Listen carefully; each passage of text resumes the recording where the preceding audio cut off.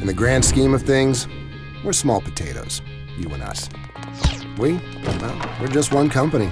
Farmers, basically. We grow stuff, ship it, and then grow some more.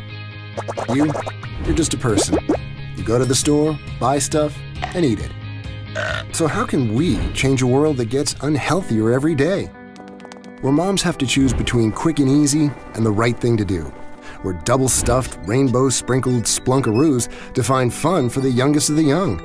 Where kids turn their noses up at healthy stuff because bad-for-you food just seems so cool. What can we do to set things right?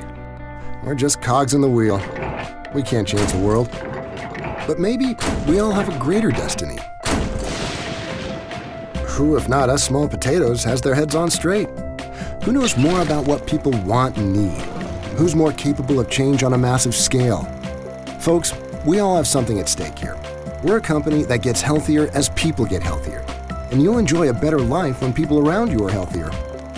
We're on our way. Fresh thinking has always been part of our DNA. We're already working to get fruits and veggies a seat at the cool kids table. But together, we can do it on a bigger scale.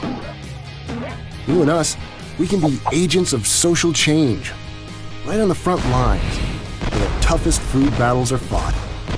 In our homes, our neighborhoods, even our schools.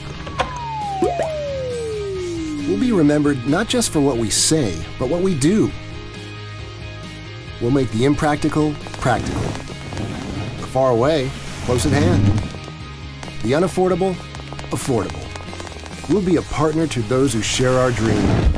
An example for those who don't. Friend to mom, foe to those in her way. Standing for something big. Giving others the courage to stand with us. Leaving in our wake healthy bodies, active minds, vibrant lives. Oh, we'll pull it off. We have the power.